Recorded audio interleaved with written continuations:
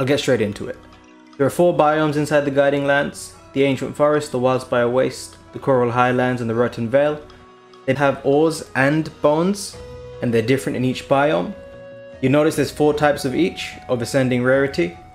What happens is these nodes each have three levels a level 1, a level 2, and a level 3. At level 1, you get the first, the lowest rarity is the common, and this will drop occasionally as a rare drop.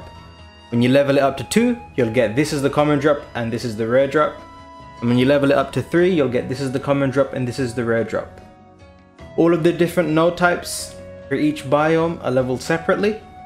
And the idea is you keep raising them up and once the bar maxes out, it'll reset back to the start and you'll start all over again. You need all of these items to, to, uh, to augment stuff.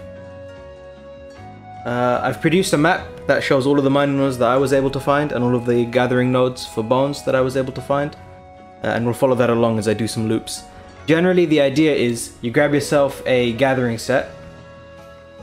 So, for example, this is my one.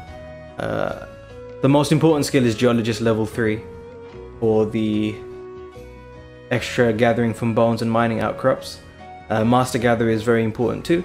The rest are all up to you. I like to go for stamina skills. I like stealth and intimidator for obvious reasons. I take some stamina skills to run, as I was saying. Paralysis resistance is resistances for Vespoids. You, you gotta you pick your own gathering set. It's fine. You head out into the guiding lands and you uh, you start looping around mining. Essentially, the way it works is, uh, and hopefully I've got gameplay of me just looping around. Each biome has two areas where it spawns these in. These seem to be fixed as far as I can tell. As you've hopefully seen from the map, for the Ancient Forest, these are areas 6 and 7. For the Rotten Vale, it's 12 and 13. For the Wildspire Waste, it's 8 and 9, which is just the two big desert areas. And for the Coral Highlands, it's 10 and 11. So basically areas 7 through 13. What I do is I usually loop through these two areas. So I'll run through 6 and then run through 7 and then back to 6 and then up through 7 and then back to 6, so on and so forth. And I'll hit all of the mining nodes and I'll see if they've spawned and I'll mine them and if not I'll keep going and I just repeat that uh, for whichever materials I need and it's really that simple. As far as other miscellaneous things go, uh, take a ghillie mantle in case you need it, bring dung bombs for dung away monsters. Once you level up your bar to full, you will reset the bar. So once you've gotten to third level of of a, of a mining node or of a gathering pile, what will happen is your bar will reset back to level 1 and in the process it will summon one gathering node that guarantees you the rarest drop.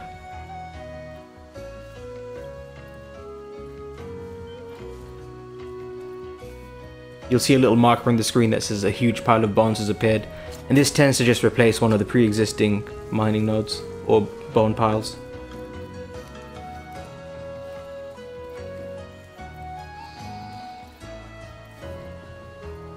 Don't forget to eat for Felyne Harvester too.